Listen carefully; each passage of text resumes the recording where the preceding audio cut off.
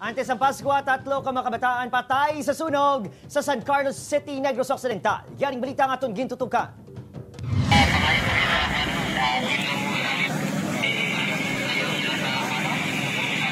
Tatlo ka adlaw antes ang Paskwa, sang nagluntad ang makalanusbong nga sunog sa balay sang pamilya Sombise sa Sitio Trozo, Barangay Bulwangan, San Carlos City, Negros Occidental. Liwas nga ginlamon sa galayo ang balay. Nabatok sa sunog ang tatlo ka minor de edad nga nag-edad 9, 7 kag tatlo ka tuig. Ginkilala ang mga biktima nga mag-utod nga Sunday Rose Jane Sombise.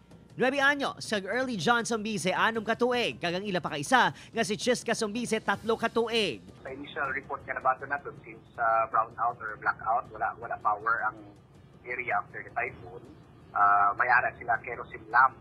So, yun ang kerosene lamp, ang isa sa mga dinalantaw subong nga posibleng nga nag-cause sa mga sunog. Ginapatihan nga napabayaan nga kinki nga napahamtang sa salog sa isa sa mga kwarto ang gintunaan sang kalayo. Wala ang iloy sa duha ka minor de edad sang natabong sunog. Nakaluwas sama ng ila sini nga lola, magluwas sa ila balay. Onse pa ka mga balay ang gintupog sang kalayo.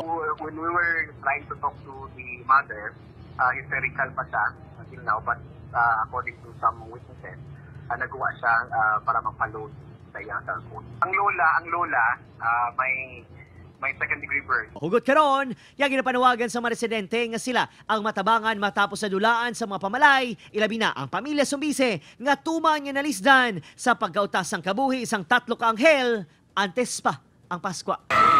Sakay, sakay dito. Opo, Kirinal Casilio, Adrian Priatos, One, Western Visayas.